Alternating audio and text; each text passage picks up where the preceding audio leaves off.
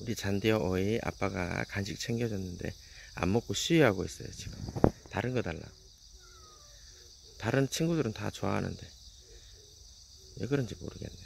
다른 걸로 바꿔줘야 되겠어요. 편식하는 잔디아 오이. 네. 아침부터 아빠를 바쁘게 하는 우리 입맛이 까탈스러운 잔디아 오이였습니다. 또 다른 걸로 얼른 가져올게요.